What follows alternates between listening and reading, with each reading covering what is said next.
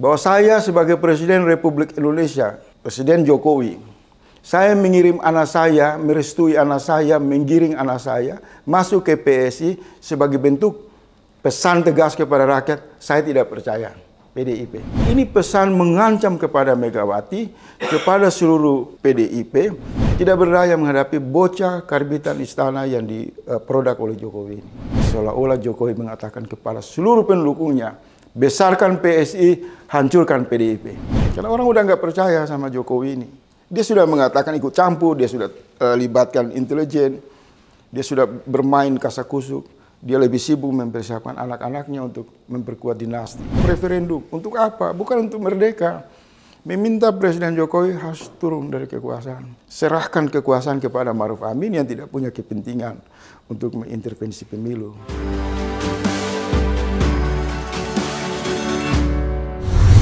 Assalamualaikum warahmatullahi wabarakatuh. Selamat datang di channel Abraham Samad Speak Up.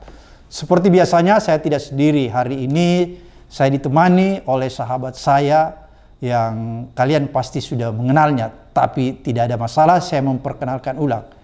Ini sahabat saya, Faisal Asegap. Assalamualaikum. Waalaikumsalam, Abang dah. Alhamdulillah. Perintah. Sehat. Sehat. Nah, Faisal Asegap ini orang sudah tahu semua, dia aktivis pergerakan mahasiswa 98 dan sekaligus kritikus politik. Karena dia kritikus politik, maka hari ini kita berbicara mengenai hiruk pikuk perpolitikan kita. Bung Faisal, ini ada yang mengejutkan kita ya. Yeah. Tiba-tiba Jokowi ini mengeluarkan pernyataan yang cukup menghentakkan kita semua. Dia mengatakan bahwa menurut laporan intelijen bla bla bla bla begitu ya. Ini berkaitan dengan gerak-gerik para partai politik. Partai politik. Ya. Jadi dia mengirim sinyal ke partai politik, "You jangan macam-macam. Saya tahu you punya gerak-gerik mau ke sana kemari dan lain sebagainya. Tapi jangan-jangan saya berpikiran nih, jangan-jangan ini untuk menggertak juga supaya partai politik tidak melakukan money politik atau apa sih sebenarnya yang terjadi? Silahkan Bung Faisal, jelaskan seterang-terangnya. Ya kalau saya mengikuti berbagai kesimpulan yang muncul di ruang publik, sebagian mengatakan ini karakteristik rezim yang otoriter. Oke. Karena dia ingin uh, membangkitkan uh, apa trauma masa lalu di mana kalau menyebut intelijen di era Orde Baru itu kan uh, terkait dengan pembunuhan, penculikan. Di zamannya Faisal itu ya? Di, di zaman kita dulu. Nah trauma ini mungkin dia ingin bangkitkan dalam satu uh, tujuan konsolidasi politik kekuasaan. Hmm. Tapi sebagian pihak lain juga mengatakan ini kampungan. Oke. Okay. Karena kerja intelijen itu kan untuk negara, untuk rakyat dan satu pekerjaan yang sensitif. Hmm. Uh, kalau uh, presiden memberi kesan seolah-olah mengendalikan intelijen, berarti seolah-olah lembaga-lembaga intelijen ini berada dalam kendali kekuasaan pribadi, iya. kepentingan ya. pribadi. Bu Faisal, saya ingin kembali ada yang menarik tadi Anda katakan itu ya, keterkaitan antara informasi intelijen dengan tiba-tiba Jokowi menyuruh anaknya bergabung ke PSI, bukan lagi ke PDIP. Saya mau bicara soal PSI, Kaisang, Gibran dan Jokowi okay, ini dalam satu konteks uh, politik dinasti yang pernah kita perbincangkan. Oke. Okay. Saya harus mengatakan bahwa langkah-langkah politik Jokowi yang akhir-akhir ini lebih cenderung untuk uh, mengkarbit anaknya masuk ke gelanggang atau panggung politik itu punya dua tujuan. Oke. Okay. Pertama dia ingin mengirim pesan yang kuat kepada rakyat bahwa dia punya ambisi untuk membangun satu dinasti politik untuk menghadapi dinasti politik SBY yang juga membesarkan Agus dan dinasti politik Megawati yang juga membesarkan Puan. Oke. Okay. Ini pertama dulu. Ya. Jadi ada persaingan yang kuat di antara para dinasti politik di lingkaran kekuasaan. Aspek kedua, lebih khusus menyangkut Kaisang tiba-tiba menyeberang ke PSI, harus berani kita simpulkan. Ini adalah pesan Jokowi kepada seluruh rakyat Indonesia agar tidak percaya lagi kepada PDIP. Bahwa saya sebagai Presiden Republik Indonesia, Presiden Jokowi, saya mengirim anak saya, merestui anak saya, menggiring anak saya masuk ke PSI sebagai bentuk pesan tegas kepada rakyat, saya tidak percaya PDIP. Maka secara otomatis seluruh pendukung Jokowi yang diklaim oleh PDIP 80% rakyat katanya kan, itu juga akan tidak percaya dengan PDIP. Itu pesan pertama. Pesan kedua, Jokowi juga mengatakan kalau dulu zaman SBY itu bikin partai tiba-tiba Demokrat bisa menjadi besar, ya kan? Maka dengan kekuatan kekuasaan yang dia miliki, dia bisa membesarkan PSI. Jadi ini pesan mengancam kepada Megawati, kepada seluruh PDIP, lebih khusus di basis-basis strategi di Jawa Timur, Jawa Tengah, dan di luar itu, bahwa bisa jadi masuknya Kaisang untuk mengambil alih suara PDIP dan Jokowi akan all out. Keempat, saya mengamati Ibu Megawati terkunci. Tidak berdaya menghadapi bocah karbitan istana yang diproduk uh, oleh Jokowi ini, Kaisang. Uh, untuk kedua kalinya Ibu Megawati terlihat secara moral itu berlutut di depan Jokowi, tidak berdaya. Ini bukan pertama, kedua. Karena pertama proyeknya itu kan Jokowi titipkan Gibran sebagai satu proyek politik yang digendong oleh Ibu Megawati. Hari-hari Gibran itu masuk ke Solo itu digendong oleh Ibu Megawati dan loyalis di lingkaran PDIP. Satu kerja politik yang sebenarnya memalukan. Karena partai yang begitu besar, tugas diberi tugas dari Jokowi untuk melayani Gibran, putra presiden. Nah sekarang Kaisang. Pada kasus Kaisang ini, publik melihat secara moral, abang, penglihatan moral, pandangan moral. Ini Megawati ini seperti berada pada posisi berlutut dan tidak berdaya di hadapan kekuasaan petugas partai Insinyur Jokowi. Kenapa berlutut? Kalau Jokowi itu adalah kader partai yang setia kepada PDIP yang membesarkan dia sebelum dia mengajak rakyat masuk ke PDIP berpartisipasi mendukung PDIP, maka dia pastikan anaknya, istrinya, kerabatnya bahwa partai ini bagus, isinya tidak ada pencuri, tidak ada koruptor, tidak ada maling, maka layak untuk PDIP didukung. Karena PDIP membesarkan saya Jokowi, tapi ketika berpindahnya ke Esang ke PSI ditangkap publik, wah ini penghinaan kepada Ibu Megawati. Sekaligus pesan yang paling menakutkan itu Abang Dam. Bocah karbitan istana Kaisang ini melegitimasi kepentingan Jokowi bahwa seolah-olah Jokowi mengatakan kepada seluruh pendukungnya, besarkan PSI, hancurkan PDIP. Saya harus mengatakan itu secara apa adanya dengan pandangan yang yang melihat secara utuh. Hanya saja kita sayangkan Ibu Megawati, Puan semua itu seperti berlutut di bawah bocah-bocah karbitan istana ini. Tidak berdaya. Tidak berdaya. Jadi sia-sia selama 10 tahun membesarkan Jokowi, kemudian Jokowi berubah menjadi macan yang seolah-olah berbalik menerkam PDIP yang diposisikan seperti domba-domba yang tidak berdaya. Kemudian sekarang proyek kedua adalah PDIP hari-hari mereka sudah tidak berdaya lagi. Hanya membicarakan dua putra presiden. Dua? Dua putra presiden. Tidak ada platform, tidak ada konsep. Hampir semua pemberitaan nasional, partai ini bangkrut. Hanya mengamati gerak-gerik Gibran, manuver, Kaisang. Mondar mandir, muter-muter di sini. Ini satu karma politik, azab atau apa saya nggak tahu. Tapi yang jelas gambaran moral Ibu Megawati, Puan dan lain-lain itu berlutut di hadapan, di emperan istana. Ini sangat malu bisa dipermainkan oleh bocah-bocah yang yang menurut saya kualitasnya kan sudah ini nggak punya konsep. Dikarbit. Dan itu merusak demokrasi menurut anda? Bukan lagi rusak demokrasi. Bisa terjadi disintegrasi. Kenapa? Karena di pusat kekuasaan rakyat melihat presiden hanya sibuk melayani kepentingan anak-anaknya untuk melanjutkan sahwat kenikmatan kekuasaan ini di masa depan. Sementara presiden cuek dengan rempang, cuek rakyat digubukin, presiden tidak peduli ekonomi hancur-hancuran, presiden tidak peduli beban ekonomi yang ini. Jadi organisasi negara ini benar-benar disandra oleh watak uh, politik dinasti yang bertentangan dengan prinsip konsensus kita bernegara. Saya khawatir apa yang terjadi di Makassar ini merupakan gambaran penolakan yang kuat terhadap politik dinasti Jokowi bisa-bisa terjadi eh, semacam Karena kalau saya membaca pikiran Gatot Nurmantio, dia mengatakan jangan menganggap enteng kemarahan masyarakat Melayu. Sebenarnya ada pesan yang kuat, saya khawatir eh, daerah-daerah ini bisa meminta referendum untuk mengevaluasi praktek kekuasaan yang mereka anggap hanya melayani kepentingan keluarga pribadi. Dan referendum tentu bukan hanya untuk merdeka, tapi mempertanyakan watak dan arah kekuasaan yang sudah jauh menyimpang termasuk referendum dari seluruh rakyat untuk meminta apakah pemilu ini mau diintervensi oleh Jokowi atau pemilu yang jujur supaya rakyat ini jangan digiring masuk ke satu pesta demokrasi yang tidak ada jaminan, tidak ada prinsip kejujuran. Yang tadi kita bicara di awal itu. Oke. Okay. Bung Faisal kalau kita lihat ya Badan Riset BRIN BRIN itu kan dia sudah mengeluarkan pernyataan yang cukup ya, itu saya baca. keras ya, Bung Faisal sudah baca, bahwa ini kan pelanggaran konstitusi nih ya. Saya terikat dengan kasus Watergate di Amerika. Di Amerika, ketika itu presidennya Nixon. Yeah.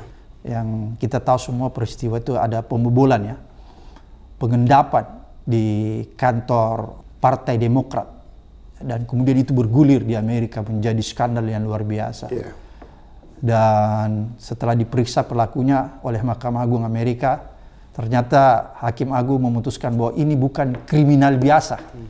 tapi ini ada faktor-faktor kekuasaan, faktor-faktor politik yang bermain di dalamnya. Sehingga ini harus diteruskan bahwa Nixon harus bertanggung jawab terhadap peristiwa itu. Jadi pada saat itulah Kongres Amerika dan Senat mempersiapkan yang namanya impeachment.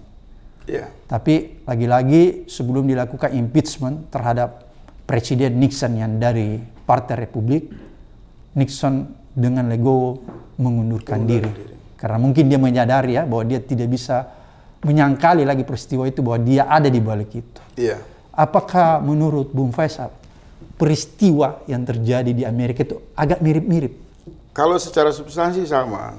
Ini ada pelanggaran konstitusi. Karena dia menggunakan kekuasaan untuk kepentingan uh, pribadi di luar kelaziman negara ya. yang secara transparan mengelola lembaga-lembaga strategi kan secara koridornya kan. Hanya saja sampai sejauh ini kan kita berharap partai politik melalui instrumen parlemen ini segera memanggil presiden dulu untuk mengkonfirmasi. Oke. Okay. Apakah pengendalian terhadap lembaga strategi intelijen ini yang dimaksud? Karena ini momentum kan jelang pemilu kan. Ya tujuannya untuk menciptakan rasa takut, teror, intimidasi kepada partai politik atau tidak. Kalau lihat pendapat yang berkembang luas di ruang publik, semua mengatakan ini teror, ini intimidasi, ini tidak lazim. Ini satu kekuasaan yang semena-mena. Dan itu ketakutan rakyat. Nah, kita berharap partai politik, misal PDIP, eh, PKB, Nasdem, Golkar, bahkan Gerindra, walaupun berbeda di arena politik, tapi kesan Jokowi me mengatakan menguasai atau mendapatkan laporan apalah yang menyangkut dengan penguasaan intelijen ini harus dibuat transparan. Karena kalau tidak menggunakan instrumen parlemen untuk meminta pertanggungjawaban penjelasan Jokowi, saya khawatir ini bisa uh, menjadi satu panduan bagi tujuan untuk membuat pemilu menjadi curang. Hmm. Karena yang bisa melakukan pemilu curang itu kan mereka yang bermain di wilayah senyap okay. pengintaian, pengawasan, penyadapan, penyadapan dan lain-lain. Jadi kalau tidak ada klarifikasi yang utuh dari presiden lewat mekanisme di parlemen, maka pandangan publik berarti presiden mengumumkan intimidasi ini akan berlanjut menjadi tujuan untuk memanipulasi pemilu. Terlebih Jokowi kan hampir satu tahun ini melakukan upaya-upaya cawe-cawe politik yang secara terbuka mengatakan dia akan masuk untuk terlibat dalam pilpres. Itu dia nyatakan ya, transparan. Ketika dia mengatakan saya juga sudah punya data intelijen, mungkin dia juga memberi sinyal untuk uh, mempermulus bocah istana Kaisang ini masuk jadi ketua umum PSI. Hmm. Jadi kan awal pembicaraan kita soal rangkaian data intelijen itu. Hmm. Nah ini menjadi dugaan-dugaan di ruang publik. Menurut saya Pak Jokowi harus segera datang ke DPR, Mbak Puan segera layangkan surat untuk memanggil uh, Presiden Jokowi untuk mempertanggungjawabkan. Karena saya mau mengatakan begini, diksi yang dipakai Jokowi ini satu horor teror yang sangat luar biasa.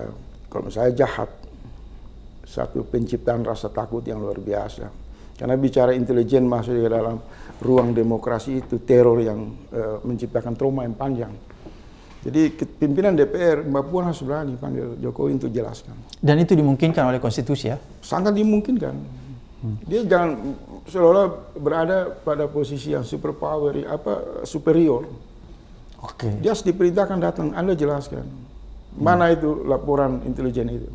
Apakah tujuannya untuk kepentingan menjaga stabilitas negara yang normatif atau punya agenda-agenda yang terselubung yang tadi kita jelaskan? Oke, Bung Faisal, itu kan pernyataan itu seolah-olah mengirim pesan kepada kita ya, bahwa dia mengendalikan ya. Iya. Nah, yang ketiga ini menarik. Kemudian ucapan Jokowi yang eh, menarik seolah-olah intelijen mengawasi partai politik ini berbahaya. Karena partai politik ini kan punya eksistensi, punya otoritas, punya ruang demokrasi yang infrastruktur yang me- mewakili aspirasi masyarakat. Kalau dia diintai, dia diamati, bahkan eh, terkesan Jokowi melakukan intimidasi politik, maka ini satu pelanggaran terhadap konstitusi. Ya karena kita tahu bahwa salah satu pilar demokrasi itu adalah partai politik. ya. Iya, seperti itu. Dan kemudian muncul kan eh, reaksi-reaksi dari berbagai tokoh politik juga. Kalau partai politik saja bisa diteror dengan menggunakan sarana intelijen, bagaimana rakyat lagi kan? Oke. Jadi ini berbagai eh, tafsiran yang muncul di ruang publik. Ini teror ya kalau menurut Bung Faisal. Saya kira itu suara yang berkembang hampir disimpulkan oleh publik seperti itu. Teror Satu- terhadap satu intimidasi, satu teror terhadap eh, kekuatan-kekuatan yang dianggap akan mengguling agenda Jokowi jelang pemilu 2024. Karena eh, mengatakan data intelijen, laporan intelijen ke ruang publik tentu kan punya maksud-maksud politik. Kalau tidak ada rangkaian dengan kepentingan konsolidasi politik, untuk apa itu diucapkan?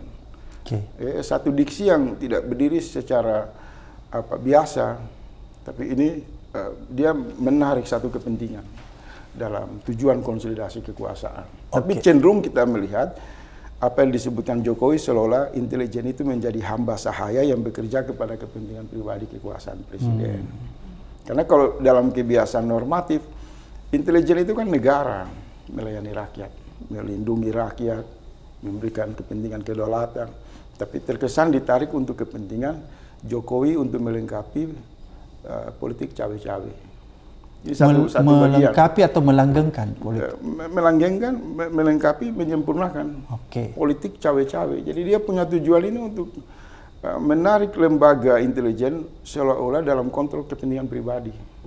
Jadi yang dia ingin sampaikan kepada partai politik itu bahwa you jangan macam-macam. Sudah pasti Jangan ancaman. pergi ke sana nah, cuma kemari. ancaman ini kan bisa bersayap kepada misal PAN dan Golkar yang uh, kecenderungan di perbincangan belakang ini bahwa uh, karena arus kekuatan perubahan itu makin kuat, PAN dan Golkar ini kan juga di Goyang. internal kan goyang.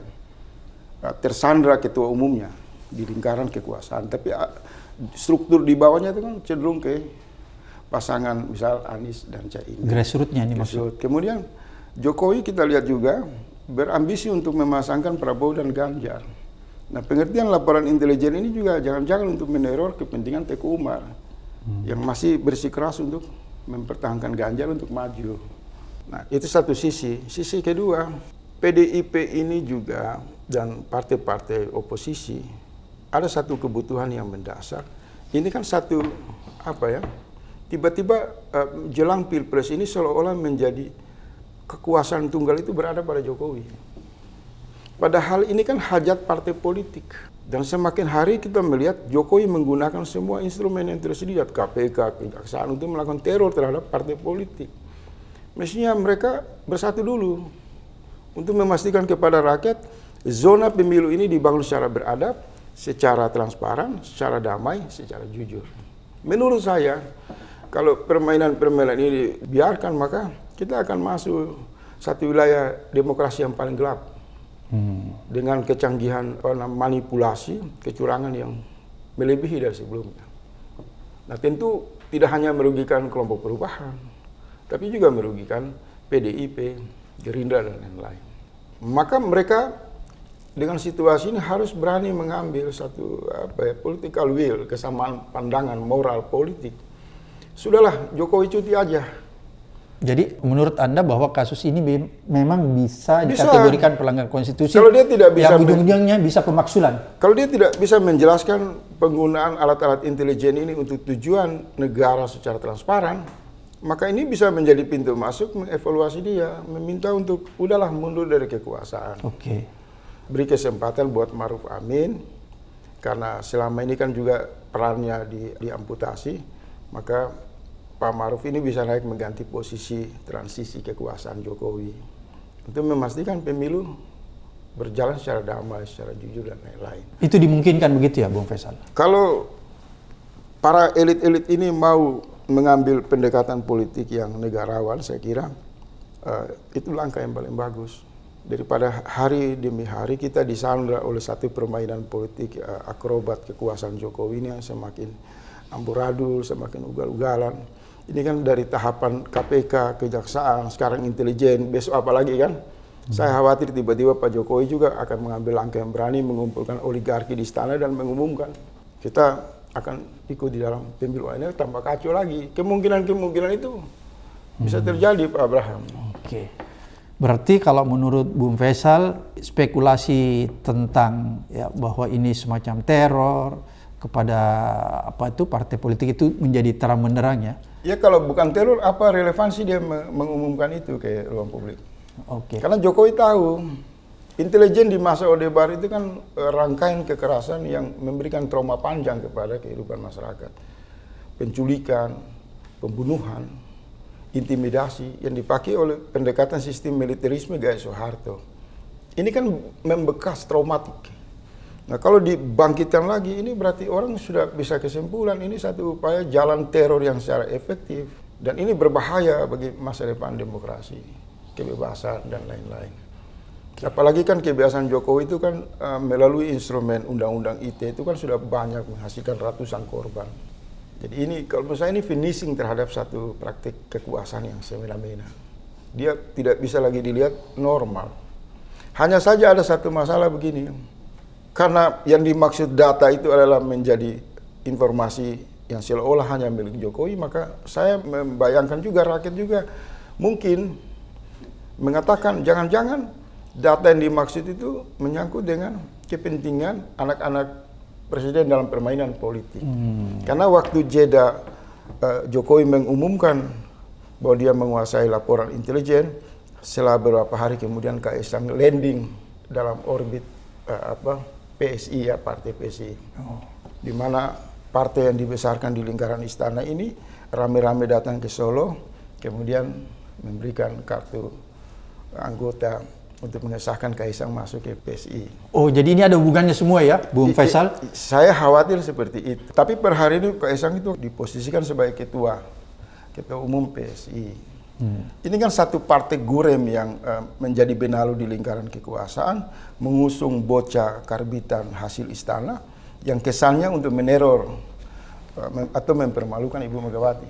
Oke, menarik ini apa yang disampaikan Bung Faisal tadi bahwa ini kan masuknya Kaisang ke partai politik PSI. Ini salah satu pesan yang ingin dikirimkan kepada Ibu Mega ya? Iya. Pesan apa itu? Kita lunut dulu laporan intelijen yang diklaim oleh Jokowi, kemudian yang muncul di ruang publik, Kaisang mulus, berganti kulit kan. Pergi meninggalkan ideologi bapaknya sebagai PDIP menjadi PSI. Oke. Okay. Dan atas restu Jokowi, dan Jokowi mengatakan itu terbuka di ruang publik. Okay. Nah, masuk ke esang ini harus kita bahas pada sesi yang paling lebih spesifik. Ya. Berarti jangan-jangan operasi intelijen itu untuk mempermulus uh, anak atau kepentingan anak presiden ini kan. Ya. Karena jeda waktunya kan tidak terlalu dengan peristiwa itu. Itu satu. Yang kedua, laporan intelijen ini juga kemudian muncul ledakan people power di Makassar yang hampir satu juta orang lebih uh, bertemu dalam arus apa konsolidasi Anies Caimin di Makassar. Itu lautan manusia, Bung Faisal? Lautan manusia. Jangan-jangan yang dimaksud teror juga Jokowi gagal mengantisipasi ini. Hmm. Mungkin banyak uh, laporan-laporan bahwa akan ada ledakan-ledakan di kota besar untuk gerakan perubahan, kemudian intelijen gagal untuk mengantisipasi ini. Jadi ini semua spekulasi-spekulasi karena uh, masuk ke wilayah yang sangat tegang jelang pemilu presiden, penetapan Ap calon presiden dan wakil presiden. Apa yang terjadi di Makassar yang Bung Faisal ketahui itu? Ledakan manusia yang begitu itu yang, masif. Itu yang saya di tempat abang ini saya sudah menyampaikan itu bahwa ketiga satu masyarakat yang yang mengalami depresi, mengalami tekanan dalam kurun waktu hampir satu dekade ini, kemudian kan muncul kerinduan untuk mendapatkan pemimpin baru dan mereka disatukan oleh satu kata namanya perubahan. Kata perubahan ini menurut saya kekuatannya itu jauh lebih kuat dari kata reformasi karena reformasi kata terminologi reformasi ini impor Impor ya? impor dari histori uh, pertentangan Katolik dan Protestan kan. Kalau kata perubahan kan lokal, dia memiliki satu energi yang menyatu dalam perasaan kebatinan masyarakat dan kalau saya lihat dia lebih 10 kali lipat lebih kuat dari kata reformasi. Nah hasilnya sekarang ketika Anies masuk ke kota-kota besar itu terjadi ledakan-ledakan dan khusus untuk Makassar itu menjadi barometer. Jangan dulu ledakan luapan manusia yang menghadiri di kota Makassar, apakah itu alami atau direkayasa juga? Saya lebih suka mengatakan ledakan karena itu satu uh, satu situasi masyarakat berada pada tekanan yang kuat kemudian mendapatkan jalan dia okay. meledak. Nah di Makassar itu barometer untuk Indonesia Timur. Kalau Makassar sudah uh, arus pertemuannya dalam jumlah hampir satu juta orang satu juta lebih yang teriak perubahan dan mendukung Anies Baswedan, maka dia sudah mewakili seluruh kawasan Indonesia Timur itu sudah selesai. Dan itu alami ya, bukan itu, direkayasa, bukan dimobilisasi orang datang ke situ. Saya kan mengikuti juga abang. Okay. Hampir 80 persen orang-orang yang datang ke sana kan dengan biaya pribadi. Hmm. Kalau itu rekayasa, satu jam saja mereka berada di situ udah jenuh mereka bubar. Jadi mereka memakai biaya sendiri datang ke situ ya? Biaya sendiri, mereka uh, datang karena kerinduan untuk melihat Anies, hmm. datang juga untuk mengirim pesan kepada Jokowi, kepada uh, Prabowo, kepada Ganjar, bahwa Indonesia Timur sudah terbit satu perlawanan untuk siap menyongsong perubahan. Jadi Makassar ini strategi sebagai barometer Indonesia Timur sekaligus juga memberi pesan kuat untuk masyarakat di Sumatera. Kalau kita di Makassar sudah mulai, ya segeralah Medan 10 kali lebih besar, Jogja, Jawa Timur, bahkan saya dengar eh, kawan-kawan di Jakarta itu akan menyiapkan uh, satu agenda konsolidasi yang akan jauh lebih besar dari Makassar. Oke. Okay. Nah ini terjadi sebelum penetapan calon. Oke, okay, kalau begitu menurut prediksi Bung Faisal, ini kan sudah terjadi nih letupan seperti di Makassar ya, ledakan yang istilahnya ledakan, Pak ledakan. Faisal ya, yang alami menurut Pak Faisal ya, Bang Faisal, bahwa itu bukan direkayasa, bukan dimobilisasi, bahkan orang mengeluarkan duitnya sendiri untuk datang ke sana. Apakah fenomena ini akan terus bergulir nanti dan pada akhirnya dia membesar dan itulah yang bisa dimaknai sebagai people power. Masyarakat Indonesia Timur ini kan berada pada wilayah-wilayah kepulauan. Kalau mereka bertemu di satu titik itu biayanya kan mahal. Okay. Tapi apa yang terjadi di Makassar, di mana orang secara uh, begitu banyak kumpul di satu kota. Dari Maluku datang dari ke Maluku, dari, dari Papua, Iria. dari perwakilan-perwakilan Indonesia Timur itu bersatu. Dan mereka menunjukkan uh, soliditas di mana aman, damai. Hmm. Mereka berjam-jam menunggu pidato dari Pak Anies dan lain-lainnya. Maka ini satu penegasan modal gerakan perubahan yang sudah menuntaskan wilayah konsolidasi Indonesia Timur. Satu suara untuk perubahan. Kemudian apakah ini akan merangsang wilayah-wilayah lain sudah pasti. Kenapa? Karena gambaran yang ada di Makassar ini juga muncul hanya beberapa hari persoalan di Rempang. Hmm. Nah, apa sebenarnya esensi yang terjadi di Rempang? Di Rempang ini adalah satu wilayah yang memberikan horor luar biasa kepada seluruh suku dan etnis. Dia bukan hanya ancaman kepada Melayu yang berada di posisi Rempang. Tapi dia sudah menjadi zona yang menginformasikan kepada suku etnis, golongan di Indonesia berada pada posisi yang terancam. Makassar menjawab itu. Oke, kita siap untuk menghadapi perubahan. Tentu rekomendasi mereka melawan ketidakadilan soal rempang. Maka ini juga akan terjadi di Jawa Timur, di pusatnya NU.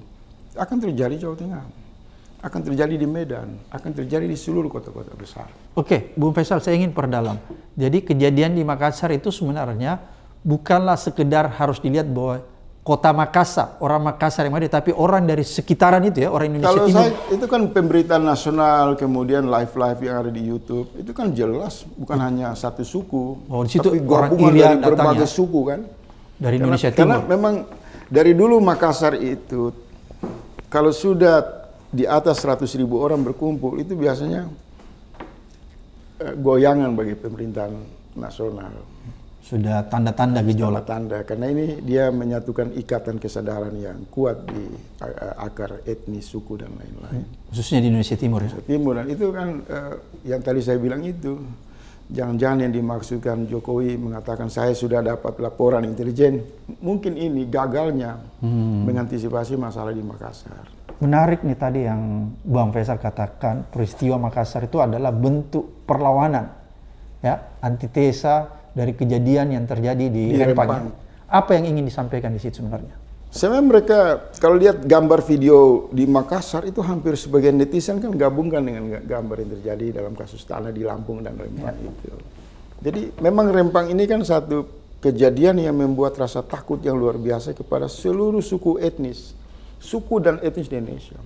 Maka secara tidak langsung merangsang kesadaran kolektif suku-suku dan etnis yang paling plural di Makassar itu bertemu dalam soliditas untuk mengirim pesan kepada Jakarta.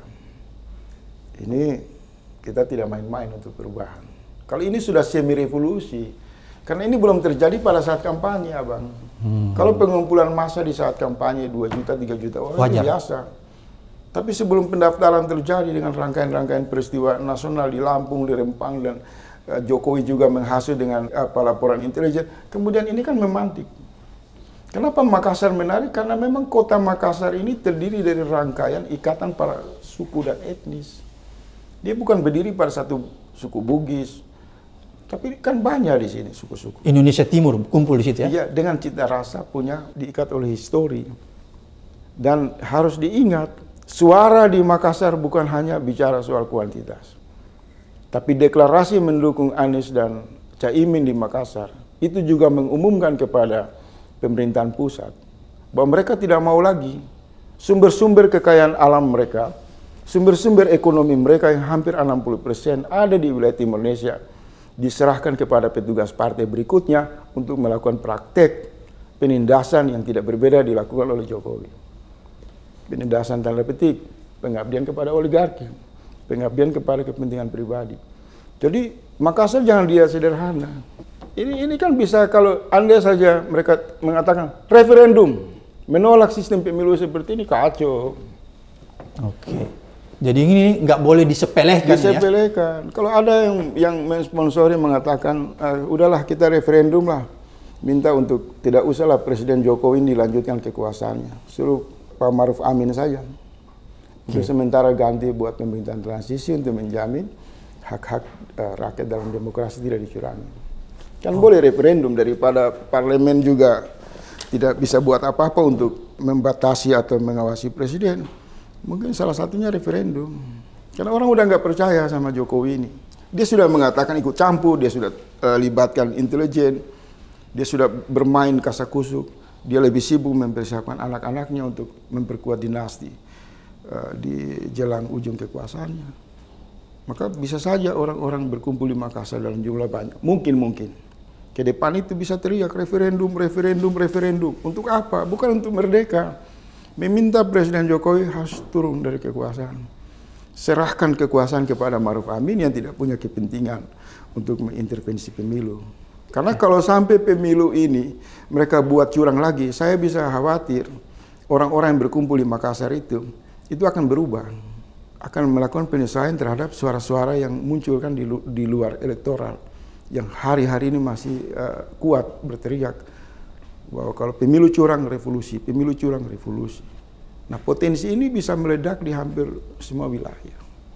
Oke, Bung Faisal, ini kan letupan-letupan itu mulai dari Makassar ya yang Anda lihat. Ledakan yang Anda istilahkan. Ledakan. Apakah ini akan semakin mengental ketika nanti eh, sudah pengumuman pendaftaran capres, cawapres? Ya tadi saya sudah mengatakan bahwa kata perubahan yang diusung oleh rakyat dan mendapatkan model kepemimpinan Anies dan Caimin ini, ini bukan sesuatu yang apa biasa, misalnya.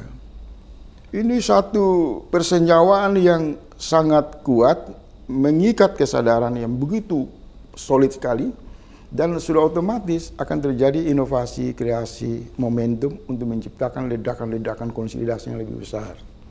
Oke. Nah, tadi saya kasih contoh, Makassar ini kan wilayah kepulauan, orang bisa bertemu kan, Mengeluarkan biaya. mengeluarkan biaya. Oke. Kalau bicara di Pulau Jawa ini kan daratan. Suruh aja Ani sama Caimin umumkan. Nanti mau mendaftar di KPU itu diundang semua orang untuk datang berpartisipasi. Bisa 2 juta orang datang. Orang bisa keluar dari gang-gang, jalan-jalan ini semua menuju KPU. Apakah fenomena ini sebenarnya juga terjadi di pusat-pusat kekuasaan sendiri? Ada keinginan untuk melakukan perubahan, bukan di rakyat saja. Iya, kalau bicara perubahan kan memang sejak awal saya itu konsisten begini abang. Orang selalu mengatakan yang menghendaki perubahan itu hanya rakyat. Pertanyaannya apakah mereka yang berada dalam struktur kekuasaan negara juga bukan rakyat? Rakyat juga. Oke. Hanya kan perannya sebagai pegawai negeri, sebagai tentara, sebagai polisi dan lain-lain. Menurut saya 99% dalam struktur negara dari wakil presiden sampai ke level yang paling rendah itu menghendaki perubahan. Yang menolak perubahan itu cuma Jokowi, Luhut, Erick Thohir dan kelompok-kelompok yang memang uh, menikmati kekuasaan. Tapi dari wakil presiden sampai turun ke seluruh jaringan paling bawah, di barak-barak militer, di markas-markas kepolisian, semua itu menghendaki perubahan. Perubahan seperti apa? Ya kesejahteraan mereka meningkat. Perubahan yang mereka tidak lagi melihat uh, Ketidakadilan. uh, ketidakadilan. Perubahan yang bisa menghapus politik dinasti di pusat kekuasaan yang dipraktekkan oleh Jokowi. Perubahan seperti apa? Ya pegawai negeri yang tidak diperalat oleh kepentingan kekuasaan pusat untuk menjalankan agenda atau program-program yang tidak sejalan dengan hati nurani mereka. Jadi di dalam struktur kekuasaan 99% menghendaki perubahan. Di luar kekuasaan terjadi gejolak. Di mana ada kemarahan atas ketidakadilan. Meminta pertanggungjawaban Jokowi. Bahkan sebagian besar mengatakan pada bulan Februari itulah masa Jokowi secara de facto turun dari kekuasaan. Tidak usah menunggu pada bulan Desember atau Oktober. Pada tanggal 15, 14, 15, 17 Februari 2024 Jokowi sudah turun dari kekuasaan. Karena itu kan jadwal pemilu akan satu dua hari sudah kelihatan siapa yang jadi presiden. Pada saat itu saya memprediksi semua yang marah terhadap Jokowi itu akan berdiri bahu membahu di depan istana dengan mengatakan Pak Jokowi tidak perlu anda di dalam, anda keluar saja. Karena orang sudah muak. Kalau lihat uh, netizen-netizen bicara itu kan di luar ke, uh, kelaziman tidak tidak masuk akal. Mereka teriak penjarakan Jokowi, tangkap Jokowi, adili Jokowi, dan muncul peristiwa-peristiwa yang sangat melukai hati rakyat. Kasus Rempang, kasus Lampung, perlakuan-perlakuan kekerasan terhadap rakyat. Ini semua bisa menimbulkan petaka yang serius bagi Jokowi di ujung kekuasaan. Bu Faisal, saya menarik tadi Anda mengklaim ya bahwa sebenarnya di pusat-pusat kekuasaan yang juga rakyat sebenarnya itu juga menghendaki perubahan mulai dari wakil presiden sampai ke bawah. Itu kira-kira informasi data dari mana yang Bu Itu Faisal fakta. dapat? Oh, fakta ya. Itu fakta. Pak Maruf Amin ini kan dizalimi oleh Jokowi. Perannya seolah-olah dianggap sebagai orang tua yang tidak berdaya karena faktor kesehatan. Kemudian hanya menjadi penonton yang tiap hari hanya menyaksikan lompat kiri, lompat kanan politik eh, Jokowi itu kan. Eh, Pak Maruf Amin nyaris tidak dilibatkan di hal-hal yang strategi. Bahkan kemarin ada pesta ramai di IKN itu, mungkin Pak Maruf Amin itu hanya disuruh nonton TV, ada dansa, ada joget-joget. Nah ini kan rakyat melihat. Berarti wakil, jangankan rakyat, wakil presiden pun tidak seperti Pak YK yang kemarin itu terlibat, mau bantu, mau ini kan, mau berbuat apa pun, eh, ikut sharing dengan Jokowi. Nah ini wakil presiden. Menurut saya ini juga turun ke Kapolri, Panglima TNI, para menteri turun ke bawah semua. Secara nurani mereka mau perubahan. Kalau mereka tidak mau perubahan, bawa mereka ke rumah sakit jiwa. Karena dasarnya manusia itu inginkan perubahan yang lebih bagus. Oke, jadi itu yang Bung Faisal lihat. 99% di dalam struktur kekuasaan negara dan pemerintahan semua menghendaki perubahan. Dan hanya Jokowi, keluarganya, Luhut, Erik dan beberapa orang saja yang memang muncul di ruang publik menolak perubahan. Nah, pertanyaannya apakah mereka di dalam struktur kekuasaan itu akan bergabung dengan gerakan kesadaran moral yang mendukung perubahan di luar kekuasaan?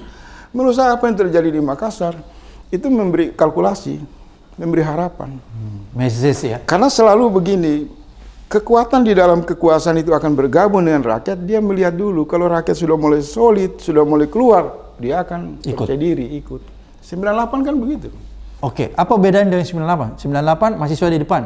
Ya, kalau yang terjadi hari ini rakyat mengambil alih semua wilayah eh, gerakan politik. Sementara kalau 98 itu kan gerakannya diprakarsai oleh mahasiswa. Oke. Sehingga rakyat berada di belakang. Oke. Tapi sekarang ini mengerikan. Petani, buruh, seluruh rakyat dengan berbagai levelnya mengambil eh, alih eh, isu perubahan ini dan menuntut kesetaraan, keadilan, dan menjadi satu barisan perlawanan. Dan mendapatkan calon presiden yang berani seperti Anies, seperti Caimin. Menurut saya, ini akan membuat kanal elektoral ini bisa menjadi sesuatu ruang yang ditunggangi oleh energi semi revolusi. Semi Dia, revolusi. dia ya? eh, tidak elektoral yang murni. Semangat revolusi. Semangat revolusinya akan lebih menonjol. Oke, jadi peristiwa di Makassar itu adalah yang Anda mau katakan itu semangat revolusi atau people power. Pasti sudah sudah seperti itu satu gerakan people power dengan pesan yang revolusioner. Oke. Dan itu akan eh, menyebar nanti. Sudah pasti. Oke, Bung Faisal, menarik sekali. Masih ada yang ingin Bung Faisal sampaikan? Atau sudah cukup untuk memberikan edukasi serta pencerahan masyarakat terhadap apa yang sedang terjadi di negeri kita yang sangat Satu, satu memprihatinkan? pertanyaan kunci yang saya tangkap dari Abang Da walaupun itu tidak diucap. Sebenarnya kan Abang Da ingin men- menanyakan, lalu apa antisipasi dari kesadaran rakyat ini? Iya. Kira-kira apa? Itu kan yang tersirat Iya. yang saya nangkap dari, di belakang pikiran Abang itu. Menurut saya, Pak Anies, Pak Amin, dan seluruh elemen yang mengusung perubahan ini tidak boleh lagi menggunakan cara pandang politik yang biasa-biasa saja. Jalan kemenangan ini sangat terbuka lebar. Konsolidasi di kota-kota besar dan sekarang terjadi misal beberapa hari lalu di Makassar itu membangkitkan harapan, menggugurkan semua legitimasi palsu survei-survei, menghancurkan semua kebohongan klaim-klaim bahwa Ganjar Prabowo itu punya dukungan, terbukti tidak ada. Dukungan itu berada pada arus kesadaran gerakan perubahan dan lokomotifnya adalah Anies dan Caimin.